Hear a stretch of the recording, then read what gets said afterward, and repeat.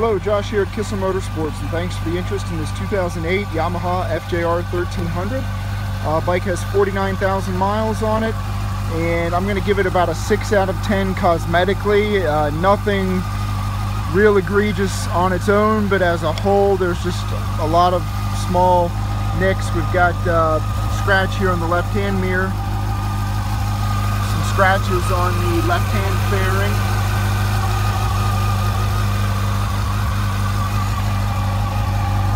Scratches here on the left-hand bag. But overall, I mean, the left-hand side of the bike doesn't look real bad. There's no rips or tears in the seat. Scuffs here on the uh, rear luggage rack. boot scuffs on the right hand bag. Fuel tank actually looks pretty good shape. A couple just real minor scuffs. 49,904 miles. Right hand mirror has scuff as well.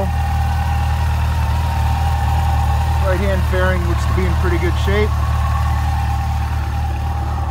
Sounds good give us a call today or email info at kissellmotorsports.com for more information or to schedule a test ride on this FJR. Thank you.